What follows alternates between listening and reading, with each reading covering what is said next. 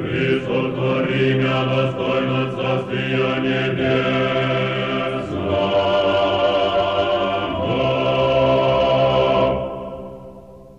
Здравствуйте, уважаемые телезрители! В программе «Слово истины» сегодня гость из Москвы, священник Федор Лукьянов. Иерей Федор Лукьянов родился в Москве. В 1999 году окончил МГИМО. Китаист, владеет китайским и английским языками. Окончил магистратуру экономического отделения Российского университета дружбы народов, имеет специализированное образование в области биоэтики. Окончил Московскую духовную академию.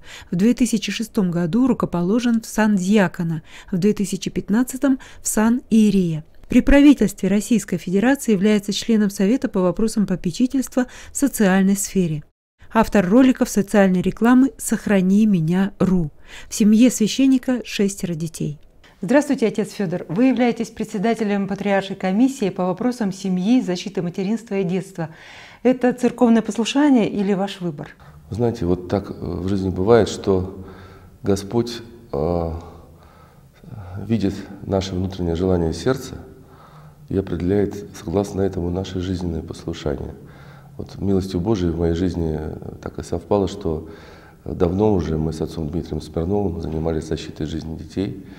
Вот, и потом для меня неожиданно, но Господь так управил, что такое послушание определил вот, по благословению Святейшего Патриарха возглавить комиссию и продолжить дело отца Дмитрия.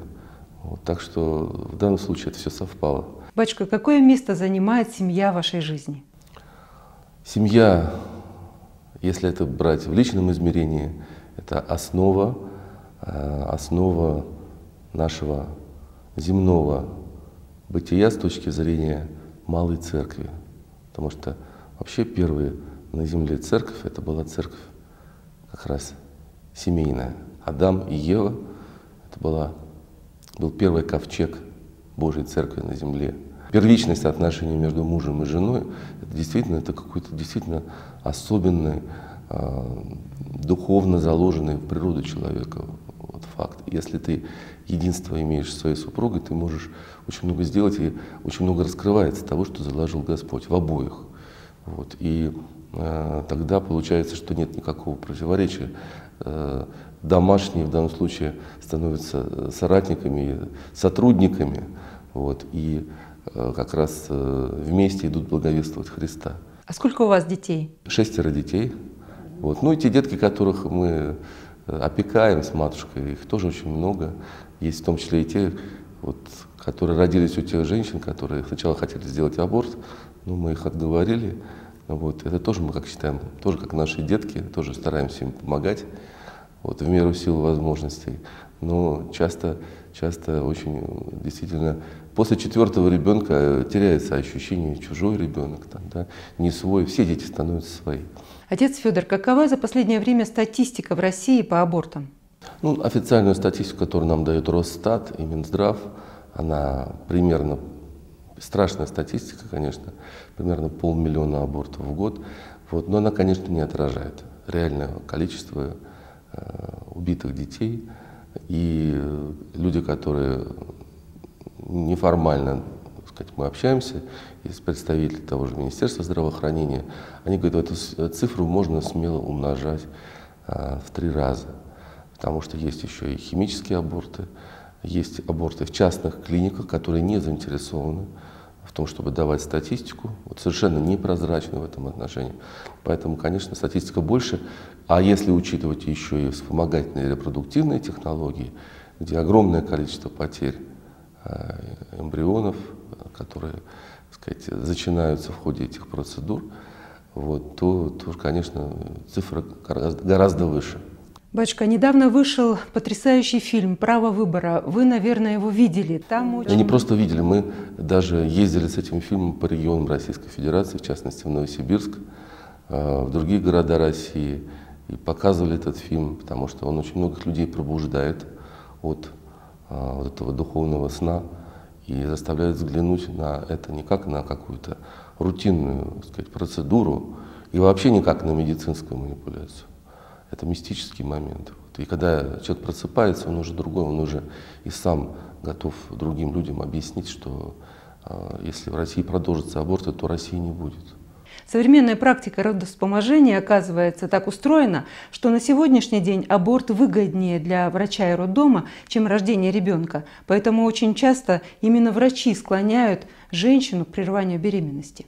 В медицине очень большая часть врачей, э, которые относятся прежде всего к педиатрическому сообществу и к сообществу неонатологов, оно очень как раз настроено на сохранение и защиту жизни детей. Проблема в том, что акушеров-гинекологов у нас готовят, исходя из определенных протоколов, определенных внутренних регламентов Министерства здравоохранения, которые не соответствуют, на мой взгляд, совершенно этическим стандартам. Ну, во-первых, должен быть единый стандарт общения с пациентом на территории всей страны. Вот сейчас мы Э, входя в Совет при правительстве Российской Федерации, э, представители Патриаршей комиссии настаивают на том, чтобы был введен единый стандарт общения с пациентом и, конечно, полный запрет на агитацию в пользу аборта. Чтобы сразу с первых слов врач говорил женщине, не, не ставя ее перед этим страшным выбором, сохранять, не сохранять, а сразу рассказал о тех льготах, которые государство для нее вводит а вводит достаточно много сегодня льгот. Одна из этих льгот – это то, что женщина, уже становясь на учет в женской консультации, сегодня начинает получать пособие. Вот этот момент тоже, введение вот этого пособия при постановке на учет, это тоже результат работы нашей патриаршей комиссии. Мы просили, чтобы был размер полтора МРОД, ввели половину МРОД, но это хотя бы э, один шаг, серьезный шаг именно в сторону поддержки еще нерожденного ребенка. Это уже сегодня введено в нашей стране. Вот, поэтому очень важно женщине об этом сразу рассказать, поздравить ее с том, что она беременна. Вот, и поэтому э, вот этот единый стандарт, введение этого единого стандарта, как мы считаем, сегодня поможет спасти э, тысячи жизней, детских жизней в этом отношении. Что-то в этой ситуации можно изменить? В чем выход? Выход э, в том, чтобы изменилось сознание общества. Вот, знаете, тут надо глубоко обратиться к вопросу, а в чем вообще причина абортов? Почему люди делают аборты в нашей стране? Почему мужчины, подчеркиваю, то, что мужчины агитируют своих женщин за это? Вот, к сожалению, они не подписывают ничего, а надо бы, чтобы они подписывали. Да, откуда вообще это абортивное мышление? Э, интересный момент, что по опросам одна причина, то есть то, как люди объясняют, что они сделали аборт, а в реальности другая причина. И мы тоже исследовали этот вопрос очень глубоко, вот, и выяснили, что это связано как раз с позицией окружающих людей. То есть вот она главная причина. Как считают близкие, как считают родственники, и, как правило, даже давят на девушку. Родная мать, например, очень часто агитирует за аборт, будучи сама причастна этому злу. Один из путей выздоровления – это признание, что это зло, и отречение от этого зла. Еще одна причина аборта, наверное, в том, что матери не воспринимают ребенка в утробе как полноценного человека, а они считают его просто биоматериалом. Так воспитывают сегодня медиков у нас, к сожалению, что это не человек. Хотя вся наука говорит о том, что это живой человек. Вот это тоже надо пересмотреть, эти стандарты подготовки молодых сотрудников медицинских учреждений. Но объясните вы, что это уникальный генетический э, даже вот материал, да? когда ребенок, э, сказать, начинается, то э, вот это вот уникальное совершенно генетическое его сочетание, это новый генетический организм с точки зрения биологии. Это с точки зрения духовной, да, это уже новый зачатый человек. Конечно, у него сразу же есть душа. Это тоже надо говорить. Вот все об этом скажет священник, но дети должны это понимать. Вот. Ну, смотрите, э, есть кафедра биологии Московского государственного университета, есть ее официальное заключение о том, что он не является частью организма матери. Что, что еще нужно нашим уважаемым коллегам в медицине? Да, вот надо обязательно говорить. И, конечно, э, всегда вспоминать примеры евангельские, что маленький Христос и маленький его пророк Иоанн Предтеча общались еще до рождения. Жизнь человека начинается до рождения, с момента зачатия. Поэтому есть и зачатийский монастырь, да, и так далее. Поэтому, что для нас очевидно, для христиан понятно, оно должно быть понятно для всего общества. Вот. И как бы девушка не говорила, ну мы же не говорим, что она вынашивает биоматериал. Так ведь? Значит, кого говоришь, ты вынашиваешь? Ребенка. Ну все, она сама ответила на свой вопрос. Значит, если ты вынашиваешь ребенка, значит у тебя в животике ребенок. Отец Федор, считается ли в православном христианстве суррогатное материнство и метод ЭКО грехом? И почему? А, методика ЭКО, она сразу заставляет насторожиться, потому что ЭКО предполагает экстракорпоральное, то есть внетелесное зачатие человека. То есть это уже вопрос естественному зачатию. Да? А вот, конечно, это неестественное зачатие человека. Вот. Плюс к этому, вот многие сегодня православные говорят, что есть а, так называемое православное ЭКО. Да? Нет никакого православного ЭКО, и нет никакого там очень уж там этического ЭКО. Дело в том, что при любой процедуре ЭКО э, риск гибели ребенка не, не сравним с естественным зачатием. Как бы, что бы ни говорили. Даже когда берется единственная яйцеклетка, как говорят, ну вот мы же одну возьмем, вот, и попробуем зачать. Но когда вот так вот делается, одна берется и попробует зачать, вероятность, что он выживет, где-то э, 7%. Выживет в конце родится уже в конце. То есть там риск есть, имплант, что имплантируется, не имплантируется, и, сказать, разовьется, не разовьется, и родится. И вот если вот учитывать все эти факторы, что, как правило, еще берется после в определенном возрасте уже женщина, это, это яйцеклетка единственная, то вероятность, что малыш выживет, то есть риск для малыша 90%. Вот готова женщина своего ребенка э, с 90% гарантией поставить, например, на там, краю обрыва там, да, или на трассу, где идет постоянное движение автотранспорта. Ни одна женщина своего ребенка на дорогу не выведет такую. А желание, а, вопреки сложившейся ситуации, все равно зачать ребенка, оно бывает иногда сильнее, чем логика и чем даже нравственное чувство у человека. Я сколько раз встречал желающих сделать ИКО, вот, это прям такое вот, скажем, навязчивое чувство любым способом получить малыша. Я говорю, а что если, ну, вот, вот как обычно все бывает, женщине говорят, мы сейчас тебе поможем. Вот, ну, взяли для порядка, взяли одну яйцеклетку, но не получилось, да, потому что в большинстве случаев так и не получается. Но тогда придется по обычному способу. А обычным способом как? Взять снова несколько яйцеклеток, попытаться всех их оплодотворить, ну и понятное дело, так как 70% эмбрионов всегда имеют нарушение хромосомное, которые начинаются именно во время этой технологии ЭКО, вот раз они имеют нарушение, идет преимплантационная селекция. То есть предлагаю женщине, ну ты же не хочешь, чтобы тебя ребенок был больной? Не хочешь. Ну давай вот выберем самых жизнеспособных эмбрионов из тех, которых ты зачала.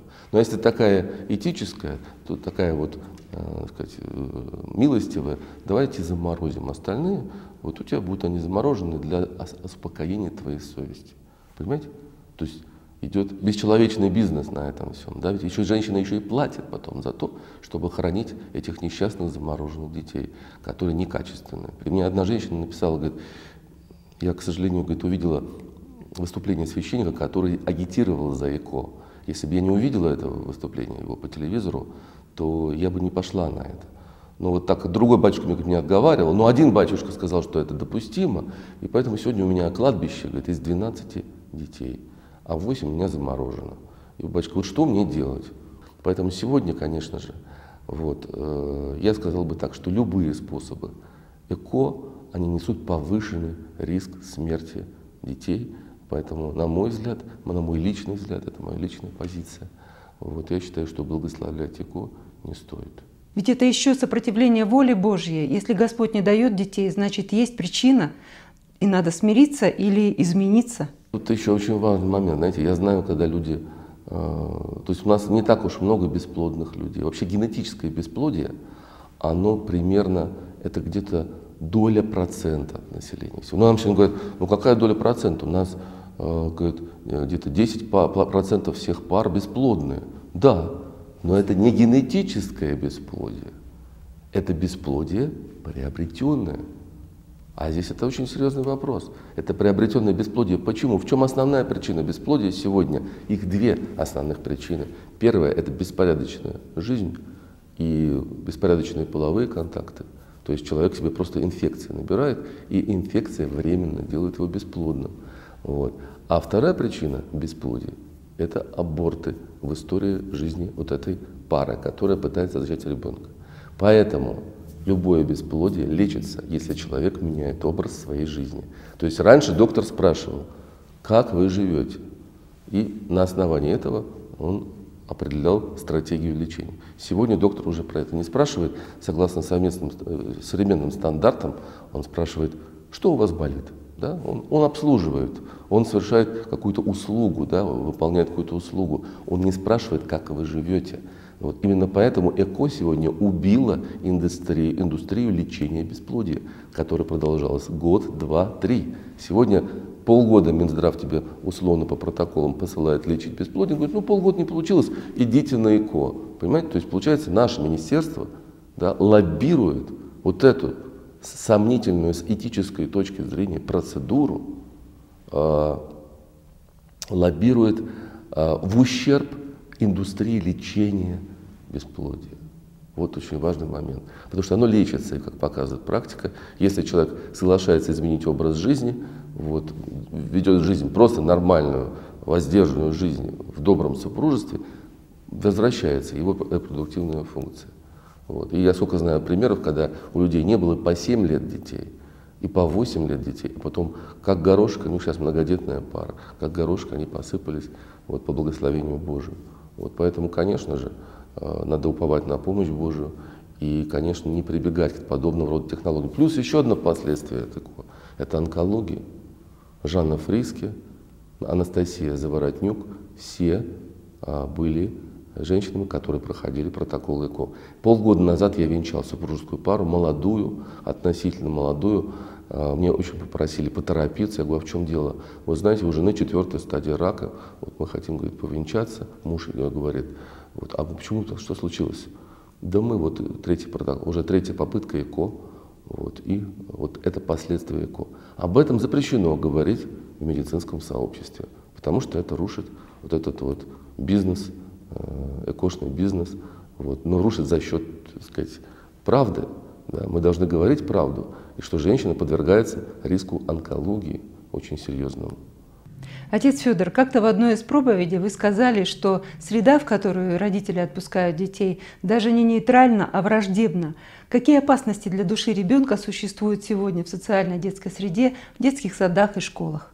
Конечно, нельзя никогда говорить, что вот э, действительно вот эта среда, она абсолютно нейтральная, она даст ребенку самостоятельно ничего подобного. Она прямо склоняет его, и чаще прямо склоняет к злу сегодня. Сегодня зло очень заразительное. Это вот пример, это те, скажем, ужасные игрушки сегодня, да, и э, поветрия, которые возникают среди маленьких детишек, распространяются особенно через э, социальные группы, социальные сети. Не дай бог, если ребенок в смартфоне сидит, то очень быстро через тот же ТикТок он э, как это усваивает вещи, ну, например, как хаги-ваги, там, да, или флешмобы, когда это связано и с развращенным поведением, тем же Хэллоуином, к примеру. Вот. Поэтому, конечно же, надо максимально внимательно смотреть, с кем ребенок общается. Если увидишь, что как бы, другая семья своих детей кормят вот этим вот, к сожалению, э, суррогатом, да, вот это вот ребенок постоянно в смартфоне, постоянно копирует какие-то нормы поведения для нас совершенно неприемлемые, то надо, конечно, поменять окружение, поменять круг общения своих детей. Нет в этом ничего такого обидного, вот, э, что там, с кем-то можем не общаться, ну, сказать, надо охранять своих детей от зла. А в самом детском саду у ребенка должен быть такой хороший духовный иммунитет. Если ребенок верующий, а дети, если им не мешать общаться с Богом, очень быстро с ним начинают общаться. Вот я для этого, поэтому всем родителям всегда рекомендую, не заслоняйте Господа от своих детей. Сразу им рассказывайте, кто их главный отец. Когда ребенок Бога воспринимает как своего отца, он сразу считает, что он хороший. Это очень важно. Когда ребенок считает себя хорошим, то есть добрым по природе своей, когда он считает себя сыном или дочерью Небесного Отца, тогда ребенок осознанно начинает сражаться со злом. Уже, уже в этом маленьком возрасте, когда его искушает злой дух, приходят помыслы. Вот. И задача этих помыслов, как правило, только одна, чтобы ребенок ассоциировал себя со злом, соединял себя со злом. Посмотрите, как хитро устроена сегодня индустрия пропаганды этого зла. Она стремится, чтобы ребенок принял монстров, принял злых персонажей как часть самого себя. как бы, как бы привык к ним и внутренне оправдал это зло. А как раз если ребенок с детства приучен к общению с Богом, и Бога считает своим отцом, тогда он будет отвергать зло. Он, ну, Господь же сверг дьявола с небес. Он отверг все зло. Да, он борется со злом, Господь побеждает зло, и я буду побеждать. То есть ребенок, как Отец Небесный, так и ребеночек за Отцом Небесным идет в этом отношении. И здесь мы, как родители, должны быть как раз ему как соратники и помощники, скорее помощники Богу в воспитании детей на земле. Отец Федор, сегодня заходишь в магазин детской игрушки, как в комнату ужасов. Ни одной нормальной куклы, одни уроды, монстры и всевозможные чудовища, которые разрушают детскую психику. По сути, это гарантия будущих неврозов. Для меня загадка, почему родители-то не чувствуют опасности этих игрушек для детей? Ну, у родителей потеряна духовная чувствительность, и чаще всего они ориентируются на просьбу самого ребенка. В принципе, родители не настроены покупать монстров понимаете, своим детям не настроено. Но ребенок просит, дети просят. То есть а сегодня родители идут на поводу детей, а дети, в свою очередь, на поводу тех рекламных технологий, которые сегодня действуют. Вот как эта система устроена. У Васи уже есть э, монстр, а у меня еще нет. Там, да, или родители, например, неосмотрительно ставят различного рода мультфильмы детям, да, то есть не фильтруют, что дети смотрят. И естественно, что дети заражаются вот этой гадостью. Поэтому э, надо на уровне государства делать цензуру, конечно, в этом отношении. Прям настоящую цензуру. То, что цензура, она, она носит характер еще и художественный, она еще эстетически носит характер, чтобы просто безвкусные вещи и безобразные вещи не портили сознание детей. В этом нет ничего плохого. А Э, и внутрисемейная должна быть цензура, когда мама с папой говорят, слушай, ну ты же понимаешь, ты должен понимать, что это зло, сыночек. Вот. Но чтобы нам апеллировать внутри к сознанию ребенка, что это зло, мы должна, должны сначала ему объяснить, что он сын добра, он сын самого Бога, да? он дитя того, кто есть источник всякого блага для человека. Поэтому ему чуждо должно быть зло. Тебе что, дракон нравится? Посмотри, какая гадость, да? Когда ребенок понимает, кто такой дракон, да, кто был свергнут с небес архистратегом Божиим Михаилом по указанию Божию, что это действительно, что дракончик вовсе не милое создание, а сегодня ведь и это легализуется в сознании детей. Образ дракона входит через мультфильмы, через приручить дракона. Ведь не все понимают родители, что первая серия фильма, она предназначена для них как правило, чтобы они отпустили ребенка, дали посмотреть вторую и третью часть. А вторую и третью часть родители вообще не смотрят. А во второй и третьей части главная идеологическая обработка ребенка происходит. Так вот, во второй и третьей части «Приручи дракона» говорится о том, что ребенок сам должен стать драконом. Понимаете? То есть, иными словами, прямое соединение со злом. И потом ребенок с такими большими глазами говорит маме с папой, мама с папой, вы же не понимаете, дракон, он добрый нас, они добрые на самом деле. Да, это у них такие зубы, такой злой вид, но это только внешне, а внутри они добрые. Понимаете? То есть ребенок уже принял вот этот злой образ внутри себя. Вот, принял, потому что с ним работали опытные психологи через эти мультфильмы. А родители пропустили удар. Вот, поэтому я призываю всех родителей встать на защиту своих детей, обращаться исключительно к образцам классики, и то очень внимательно в этом отношении, и ориентироваться на русскую православную церковь. У нас в прошлом году в Краевой библиотеке организован был конкурс «Ужасы книжных страниц». Я вам показывала, что бедным детям пришлось рисовать. Как вы прокомментируете это, когда сами взрослые толкают детей в сферу инфернальных сил? Это означает, что вот эти девочки уже, взрослые девчонки, которые его проводили, взрослые сотрудницы, уже сами заражены этим злом. Мы же не общаемся с зараженными людьми и говорим, слушай, пойди, э, сказать, как-то выздорови сначала, потом уже иди работай с детьми. Правильно? Ведь люди не приходят больными работать с детьми. Вот так же и здесь. Да, руководители детских учреждений должны смотреть, если сотрудница спокойно относится к образам Хэллоуина, что потом она скажет этим детям, что потом она делать будет. Поэтому, конечно, это вопрос духовного здоровья. Вот вдруг приходят родители и говорят, ребенок покончил с собой. Как так? Благополучная семья, хорошая школа, прекрасная учеба. Что случилось? Почему это произошло? Да потому что вы не видели своего ребенка. Вы не видели, какую пищу он поглощает. И вот эти как раз вроде бы как невинные ужасы, они не просто э, намеренно создаются, они создаются с целью только одной – поработить душу ребенка и направить ее к самоубийству. У дьявола только одна задача, он понимает, как он может забрать душу человека, только через суицид. Поэтому, э, как правило, вот эти ужасы, этот, э, скажем так, рисунки монстров, которые входят в жизнь ребенка, задача одна, чтобы он перестал ощущать зло злом, перестал ассоциировать зло с чем-то чуждым для его души. Вот эта легализация зла – это первая и удачная попытка, это, это ведущая потом к уничтожению личности человека. Вот, то есть это тот самый чужой, который заходит в душу человека. Поэтому надо ребенка с детства научить духовной гигиене. Видишь отвратительного монстра, скажи об этом взрослому. Скажи, пап, тут гадость, мама, тут гадость, там, она хочет сказать, пойти в мою душу, там, сказать, сделай что-нибудь. И знаете, как родители, когда они начинают реагировать на это, в магазинах начинают подходить. Вот у нас есть родительская палата, это союз родительских организаций. Вот, э, и многим членам, когда рассылаем про, про того же Хаги-Ваги, да, очень многие родители просто у себя в городе останавливали это безумие. Они приходили, делали заявления, писали заявления, и вот эти вещи останавливались. Мы можем сегодня очень много сделать ради безопасности наших детей. Вот, если мы э, реагируем на это, как родители приходим, говорим, это э, сказать, э, наносит моему, еще, э, моему ребенку ущерб нравственный, ущерб эмоциональный, эстетический и так далее. Уберите, пожалуйста, эту гадость всеобщего обозрения. В современных киносказках тоже смешивается добро и зло. Яркий пример «Последний богатырь». Это тоже для психики ребенка, по-моему, вредоносно. Вы знаете, вот э, я знаю даже, кто эту студию возглавляет. Мне очень хотелось бы, чтобы люди, которые студию возглавляют, они себя считают православными даже, понимаете? Вот. У них есть духовник, вот, пускай они посоветуются со своим духовником на предмет вот этих вот э, э, фильмов, которые они снимают. Они потом хотят быть оригинальными, привлечь публику. Вот. Но это дешевый и э, безнравственный способ привлекать публику за счет игры со злом.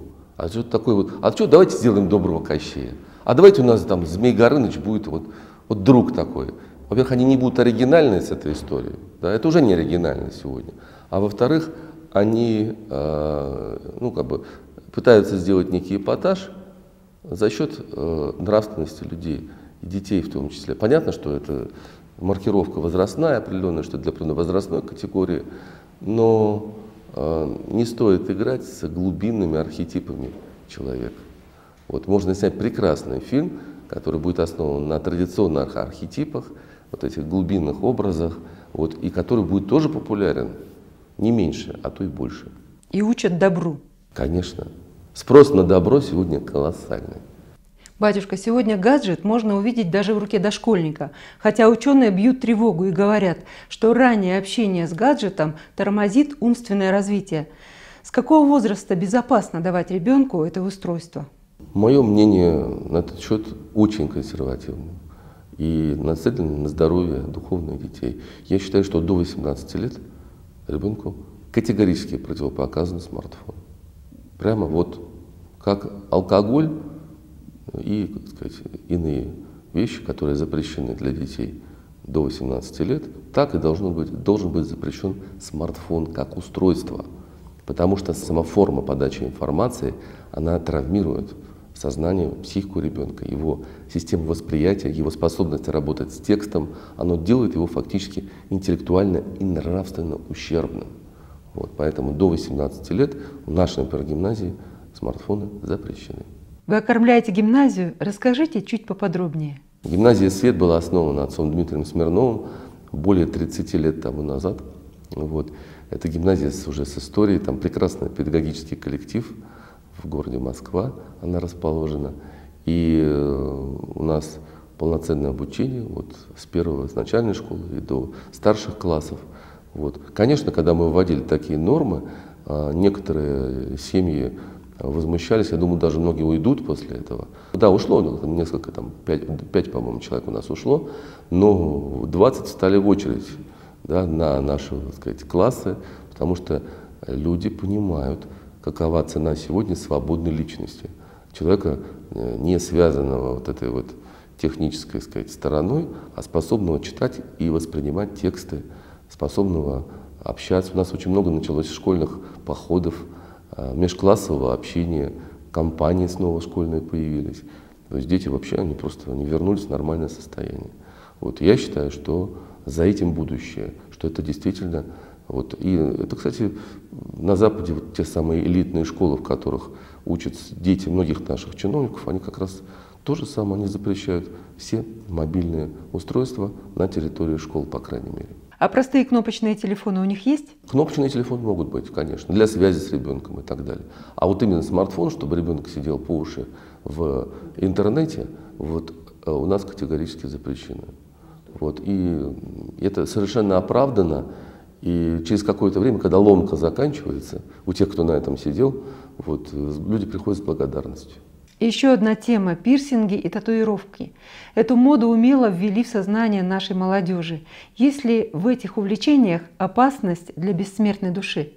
Ну, мы знаем, что нанесение письменных обозначений и э, каких-либо знаков на тело ну, является греховным, вот, поскольку все, что нужно, Господь нам дал для, нашего, для нашей телесной жизни здесь на земле. Вот, и татуировки и пирсинг, они э, связаны с определенной физиологией человека. И э, эта индустрия э, познается по плодам. Как правило, начинается все с одного похода в тату-салон, а заканчивается попыткой чуть ли не все тело сделать татуированным и попыткой проколоть себе все, что возможно. Это тоже момент такой духовного повреждения, когда боль становится частью удовольствия.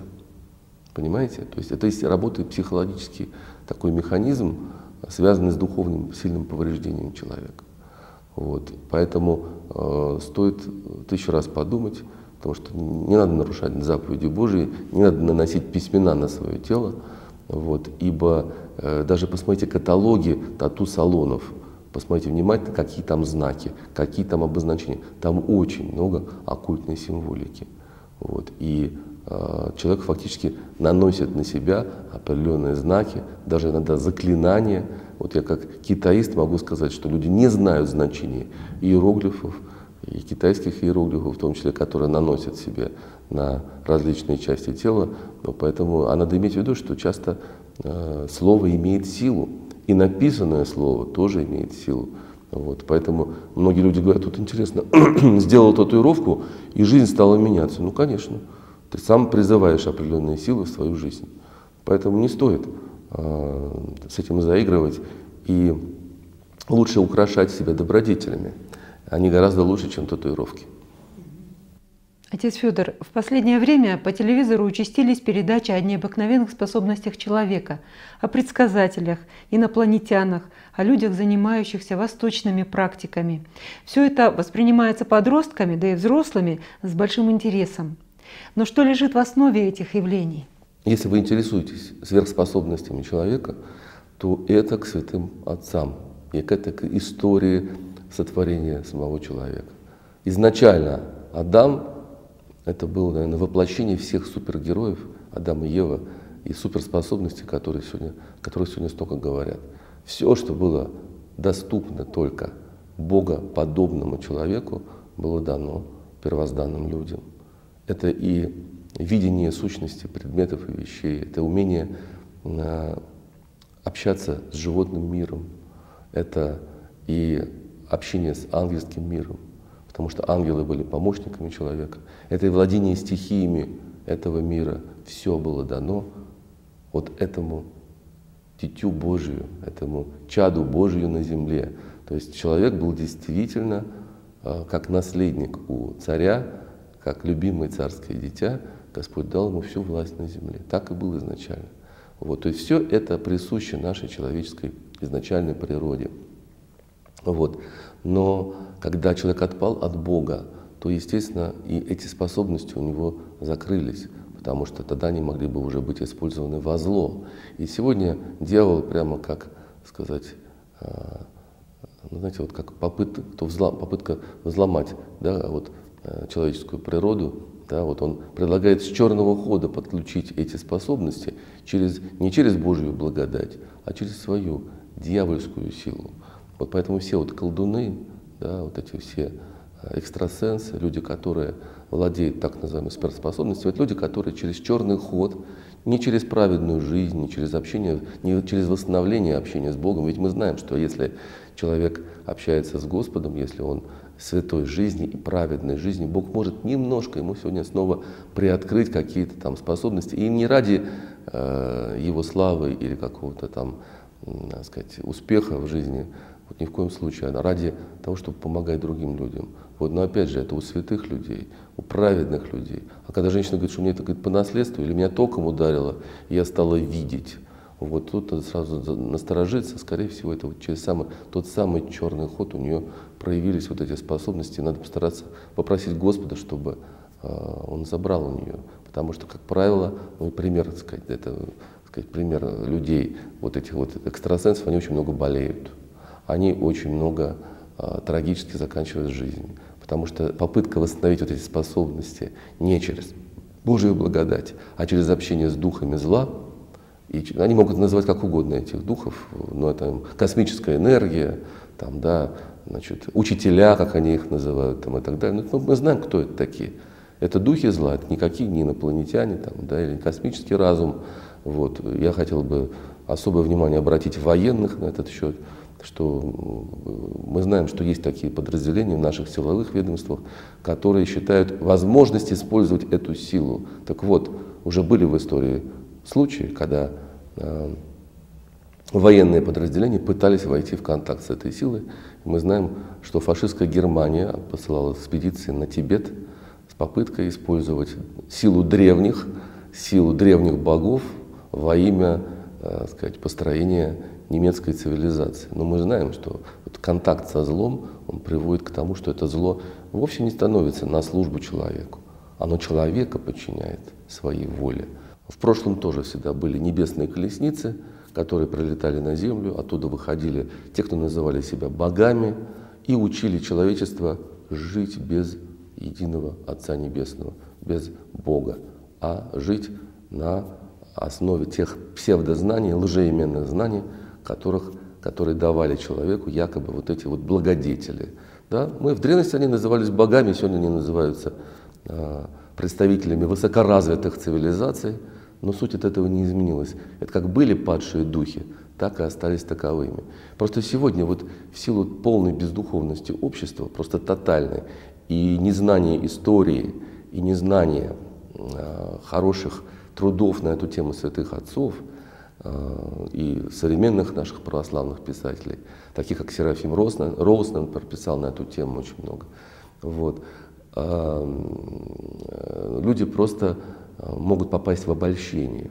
Да, и так многие попадают, многие надеются, что вот сейчас прилетят инопланетяне и помогут землянам решить свои нравственные проблемы. Ну, то есть это повторение совершенно древней истории, от, которая была связана еще с допотопными цивилизациями, когда человечество вступало в контакт с нечистой силой и получало от нее некие технологии, совершенствования своего земного бытия. Но вы понимаете ведь, что дьявол никогда не делится подлинным знанием. Если он и делится знанием, то делится э, с ядом, да, добавляет свой змеиный яд в это знание. Он учит человека астрономии, а параллельно учит астрологии. Учит человека химии, а параллельно учит алхимии. Да? И получается, что люди, получая некое знание о реальных явлениях этого мира, получают и яд оккультизма, яд безбожия. Поэтому, конечно, надо предостерегать всех прикасающихся магии, колдовству, оккультизму, гаданию, астрологии, а, различного рода оккультным практикам. А, не влезай, убьет. Потому что дьявол есть человека-убийца от начала. А хочешь обрести подлинные сверхспособности, любви прежде всего к людям, надо начинать с, с духовного совершенства во Христе Иисусе. Тогда Господь даст тебе те способности, которые тебе полезны не вредны для э, сказать, вот, э, твоей жизни и для помощи окружающих людей. Мы знаем, что у подобного Серафима Саровского была потрясающая сверхспособность. Да, это не только чудотворение. а это любовь каждому человеку. Спасибо, батюшка, за интересную беседу. И сотвори меня достойно Царствия Небес.